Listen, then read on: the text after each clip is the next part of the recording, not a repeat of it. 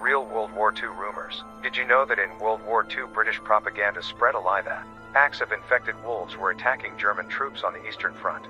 It was claimed that this was leading to widespread outbreaks of rabies amongst the troops, and that German medics were urgently requisitioning anti rabies vaccines, neatly playing on fears of wild animals, fatal disease, and medical shortages in a single disinformation campaign.